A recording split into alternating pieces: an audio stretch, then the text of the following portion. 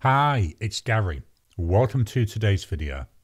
Today we're going to be taking a look at four pens. It's not going to be a review of the pens, it's going to be a review of the nibs. All these have got 1.1 stub nibs.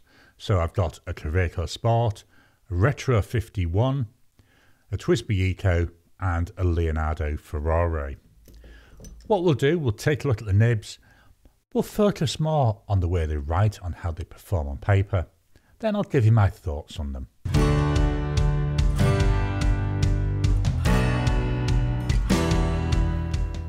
Here we are down on the mat.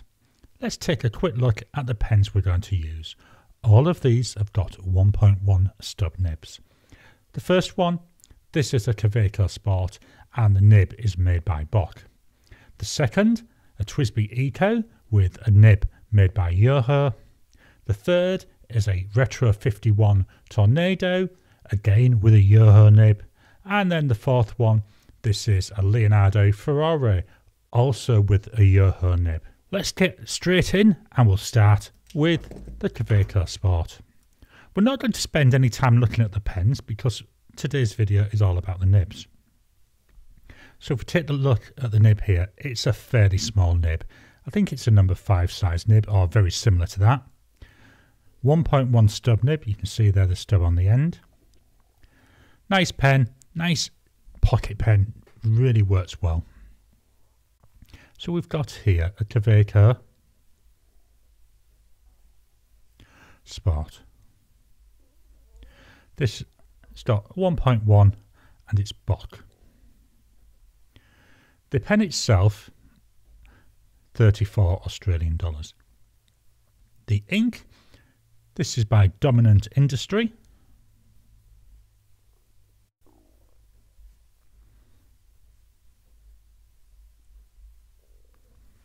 And it's Lungo. I love the colour of this ink and I think it looks really nice in this pen. Drying times, that's immediate. 10 seconds, 30 seconds,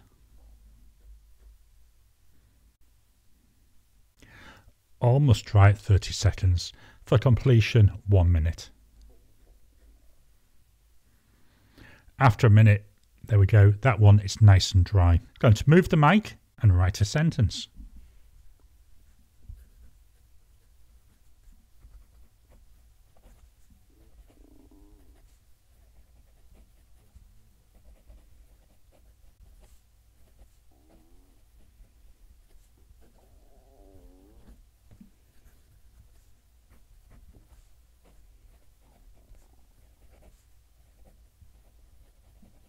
That's nice, nice and smooth. There's no catching on the paper. I'm not going to say it glides, I can feel it writing. It's looking for line variation, so here goes a line down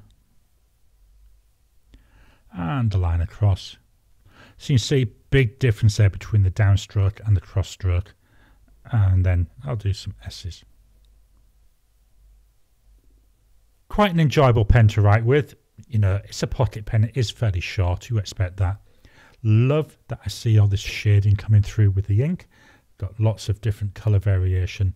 And to me, and one of the things I want to look at with these 1.1 stubs today, just look at the character that having that different line width fetches out in my writing. Really like this. I'm going to take off the cap. What we're going to do is fetch in the next pen, which is the TWSBI Eco, and compare the two nibs. So the TWSBI Eco, that is a number 5 Yoho nib. Just look at that in comparison to that Bock nib. So whereas before I thought maybe this was a number 5 nib, definitely looks smaller, doesn't it? Let's get the sport out of the way.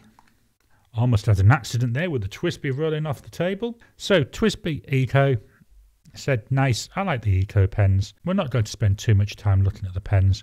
We're going to get straight into writing. So we've got here a TWSBI Eco.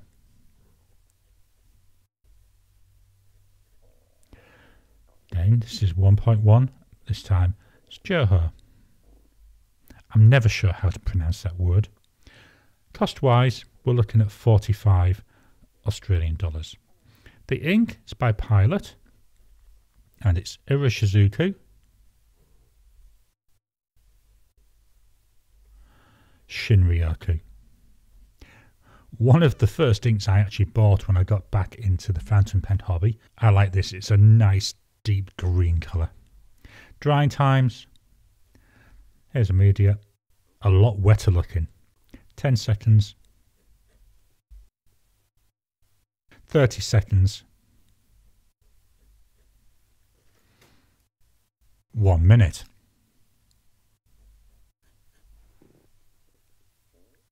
After a minute, and again, we're nice and dry now.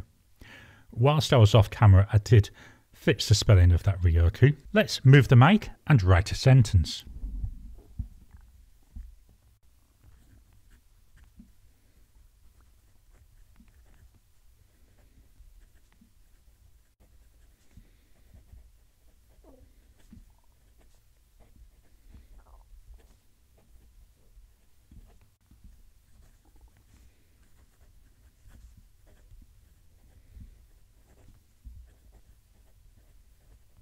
And let's look at our lines.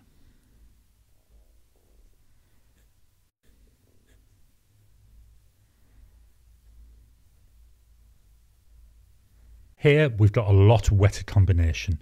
Not seeing any shading at all, so it's just like a flat colour that's coming out of this. I'm seeing some nice line variation. And to my eye, it looks like the line that I'm getting from this 1.1 stub is actually wider than I'm getting from the Kaweco Sport. What I'll do is I'll take a closer look at the lines at the end of the video. So this is the TWSBI Eco. There we go. Let's take that off. Hopefully this will stay still. There's a problem with these round barrels. They tend to roll a lot. And I'm going to fetch in the next pen. This is a Retro 51 Tornado. This is in the antique copper. I really I like this. Could you try again? Siri wants to know what I said. Well, Siri can keep waiting. So let me put these alongside each other. So we're staying with Yoho nibs, but we've now moved up to a number 6 size nib. Look at the size difference there. I'm not sure which I prefer. I mean, the, the TWSBI Eco, the nib looks nice and sleek, but you can certainly see what you've got here with this Retro 51. Let's pop the TWSBI Eco away. Move this paper up ever so slightly. And here we've got... One sec.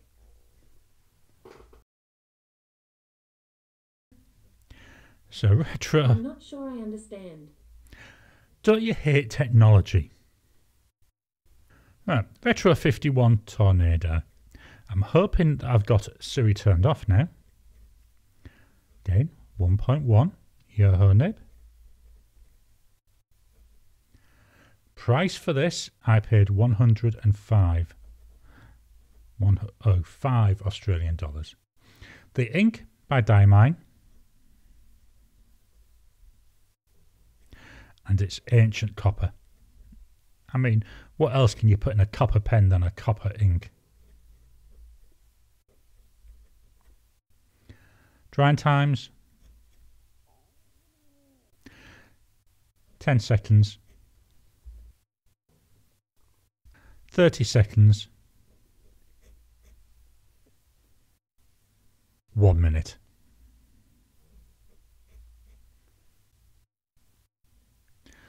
After a minute, again we're nice and dry. We'll move the mic and do our sentence.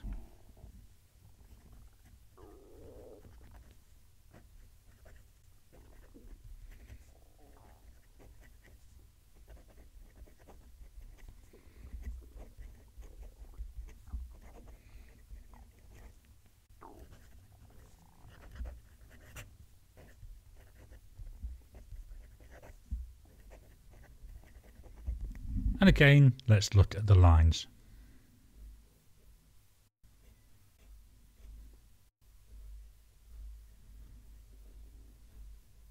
So this pen, the writing experience is very different than what I was seeing with the Eco. With the Eco, it was nice, it was soft, there was a bounce to it. But once I've moved into this Tornado, the nib, it feels stiff and it feels as if I'm dragging it over the paper. There's a lot of feedback there. It's very scratchy compared to the TWSBI Eco, which was, I've got to be honest, an awful lot smoother. When I look at the line, the line here seems to be an awful lot thinner than what I'm seeing from that TWSBI Eco. Again, we'll look at them towards the end of the video. I am seeing a lot of shading coming through, which is nice to see. And like there on the bottom of the P, we are seeing some of that copper shimmer that's in there as well, which all just adds to the really the character, doesn't it? But there's not a lot of that shimmer coming through. Now, I had been agitating this pen before I started writing with it to give that shimmer the best chance of coming through. Let's take a look at the nib one more time. Another one which wants to roll away on me. And now fetching my final pen, which is the Leonardo Furore, also with a Yoho nib. Let's take a look at these next to each other. So the nibs, you can see very, very similar. Obviously the engraving on both is different because they're both branded, but both of these nibs made by Yoho. With the Leonardo, I haven't been 100% able to confirm that it's Yoho. I'm just going by a number of articles that I've seen on the internet, whereas with all the other pens, I've been able to confirm who the nib manufacturer is. So let's get that Retro 51 out of the way, and then we'll do some writing. So we've got the Leonardo Furore. Again, 1.1 and I'm going to call it Yoho because from my investigation that's the nearest I've found. This is by far the most expensive pen, 230 Australian dollars. The ink is by Diamine and it's Earl Grey.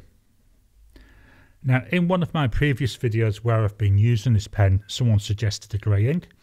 This is the grey ink that I've got, so I thought I'd give this a try. Yes, it, it goes quite nice, doesn't it, with this salt white body, but I've got to be honest, I'm not certain it's a match that I enjoy. I mean, I'll use up the fill, but I don't think I'll be using grey in here again. Drying times, so immediate. 10 seconds, 30 seconds. You know, it's more or less dry there. One minute. After a minute, that, that's nice and dry, but it was more or less there, wasn't it, at the 30 second mark. Just going to move the paper up slightly, and I'll move the mic and do my sentence.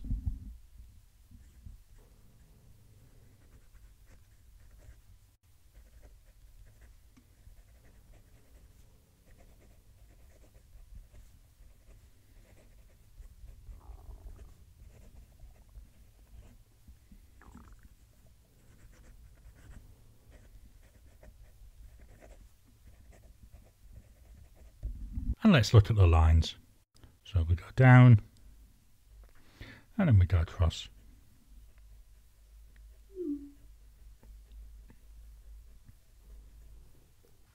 So with this one, again, I'm seeing a lot of shading coming through. I actually do quite like the Earl Grey ink. I think it's a nice grey. And the other pens I've had in it really performed well. The line, again, comparable really with the Retro 51. But saying that, they're virtually the same nib. You can see that the Leonardo, they've paid more attention to the nib. It's tuned so much nicer. It's smooth. There's no catching on the paper. I'm not going to say it's gliding over the paper, but you can definitely feel that they've spent the time to make sure it writes well. Again, I'm just going to move this paper up. I'm going to do one final test with each of the pens. So I'm going to start here with the Kaweco. What I'm going to do, I'm going to do three lines down. Below that, I'm going to do three cross lines. Now with the TWSBI. Three down, three across. Retro 51, do the same thing.